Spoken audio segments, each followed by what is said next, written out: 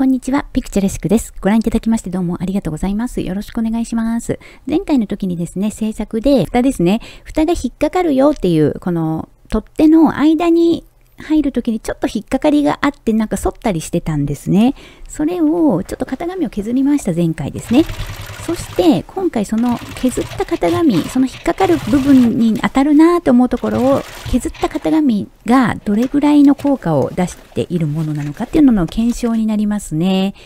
ということで、ちょっとね、もうできちゃったとこに移るんですけども、すいません。途中あまり映せてないですけどね。こんな感じです。ちょっとこの斜めの線を見てほしいですよ。このサイドのね。引っかかりがこういう状態になった時に、あの、解消されているといいなっていう風な、もういろんな場所がありますからね、これね。力入れてない時とか持ってない時とか。なんだけど、やっぱり背負っている時の最中っていうのの設定なので、これがそういう風です。ということは、つまり、あの、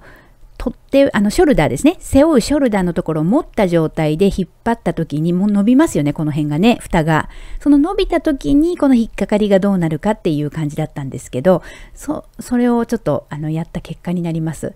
まあ、やっぱりね、横から見ると隙間はまだね、完全解消ではないけど、まあ、そういう、もうね、これ、これ以上もうないですね。あの、これでいきます。なんかあの、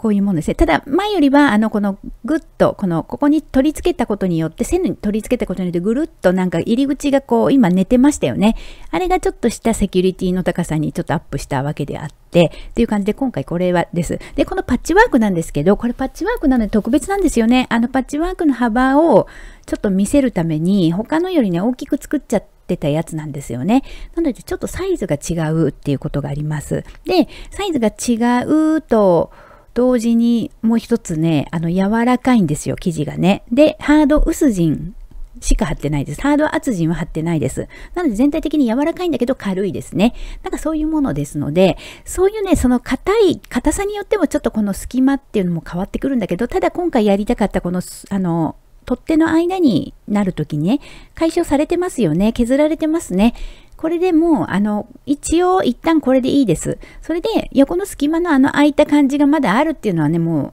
う、どこまで行ってもね、もうしょうがないことなので、とりあえず、あの、やっぱりこの型、これ中にね、あの、巾着袋設置してないタイプなんですよね。なので、巾着袋がやっぱり必要だなっていうところにたどり着いたわけなんですよね。なのでね、このタイプはもうこれで廃盤になるやつなんだけど、廃盤にこのままするのも、あの、廃盤にするっていうか、あの、なくなっちゃうのももったいないからってことで、ちょっと、まあこれはセール対象品になるんですけれども、そういう理由がね、深く、あの、掘り下げるとちょっとあったりするんですけど、まあ、それでも、あの、セール品でもこういうふうにお直しをしたっていうことになりますね。やっぱりね、あの、どんなように購入したかってあまり関係なくて、最終的にはね、使っていく中で、あのじわじわとやっぱり感じてもらうことの方がね重要だと思っているのであのねちょっとそういうリフォームをね今回やったわけです。なんかねうまくやるとこういうなんかちゃんとあの割と口があの閉まった感じになるという感じなんだけど前身も後ろ身もこう倒れてきますのでねそれはあのこのフラップのこの取り付け位置とかそういうののいいところで前とは変わりましたね。あのじゃあここで以前のやつちょっと映してみますか？前のやつこれですね。ちょっとね、あの、やっぱり隙間が最初から、あの、空いている感じで3分の1しか覆ってない感じがありますよね。それをちょっと、あの、今回の改善で、ちょっと安心するような大きなサイズにまず、あの、フラップが、雨蓋がなったっていうことですね。で、見ると、こんなような感じですね。あの、やっぱり最初から何もしなくても、背負っている状態じゃなくても空いているっていう感じだったのが、そこからちょっとね、あの、だいぶ変わったと思うので、これ前のやつですね。で、変わった後のやつですね。こういう感じですね。そもそものつけている位置が背のとこから来ているから、結構、あの、それにつられて、この中の口がギュッと倒れている感じが、なんか、あの、ありがたかったみたいな感じですね。これ作ってみないとわからないですね。こういう物理的な動きみたいなやつがですね。こんな感じなんですけど、これでもまだね、やっぱり、あの、ちょっとね、隙間はありますけれどもね。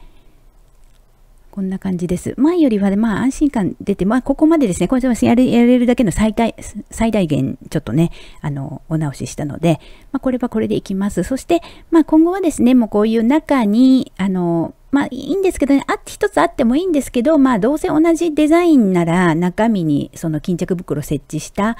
とね、レベルアップしたものを一つだけでいいんじゃないかと思いまして、まあ、あの、これはね、いずれ、あの、この、ね、隙間解消でききれなかった分に関しては、あの、もう廃盤になっていくんですけど、まあ、あの、廃盤セールっていうことで、セールに出すやつですね、これはね。あの、結構、パッチワークの他のデザイン的な部分で言うと、ちょっと、あの、結構、あの、工夫したものになるのでね、ちょっとそういうのをね、見てもらいたいなと思いました。はい。今回はね、こういう風にちょっと2点目お直ししましたけど、ちょっと今回特別って感じもしましたね。パッチワークのによって大きいサイズになっているっていうこととか、まあでも大きいサイズになったことが入り口に関係あるかっていうと、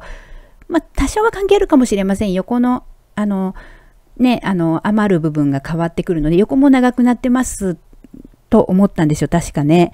なんかね、これ、これちょっとだいぶ前のやつなんで記憶がない。縦はのあの長く伸びたんですよね。なんだけど、取っ手の幅は変えていないので、取っ手の空間、この間、隙間は変えていないので、今回の隙間対象の検証にはできたっていうことになるんですけどね。またね、この思うのがね、いろいろな生地の素材の違いによっても、だいぶちょっと変わるんだなって思います。だけど、まあ、それも平均して、慣らして全体的に、あの、効果が出るように作らねばいけませんからね、それは。という感じになりますね。あの、じゃあ次3つ目をまた次回ですね、あの、お伝えできたらと思います。全部で6つぐらいあるので、7つぐらいあるかな、6つか7つあるので、それをね、全部、あの、徐々にね、直していくっていうことをね、やっています。はい。では今回これで終わりです。ありがとうございました。